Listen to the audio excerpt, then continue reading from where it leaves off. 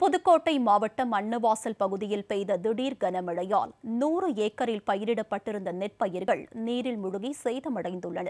இதனால் விவசாயிகள் வேதனையடைந்துள்ளனர். அன்னவாசல் ஒன்றியம் பரம்பூர் கிராமத்தில் நேற்றிரவு கனமழை பெய்தது. இப்பகுதியில் நூறு ஏக்கரில் நெற்பயிர்கள் அறுவடைக்கு தயாராக இருந்த நிலையில் இந்த திடீர் மழையால் நீரில் முழுகி அழுகும் நிலை ஏற்பட்டுள்ளது.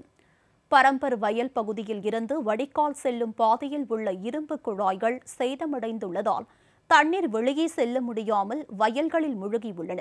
வடிகால் பகுதிகளை சீரமைத்து தர வேண்டும் என மாவட்ட நிர்வாகத்திற்கு பலமுறை மனு கொடுத்தும். இதுவரை எந்த ஒரு நடவடிக்கையும் எடுக்கவில்லை என்று விவசாயிகள் தெரிவித்துள்ளனர். மேலும் அழுகிப்போன நெற்பயிர்களுக்கு இழப்பீடு வழங்க வேண்டும்.